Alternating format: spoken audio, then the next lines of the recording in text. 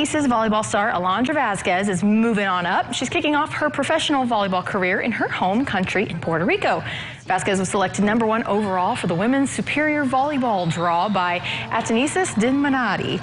The team's season runs from February through May. Now, she set the all-time kill record at UE with 1,911, and she had the fourth most in MVC history.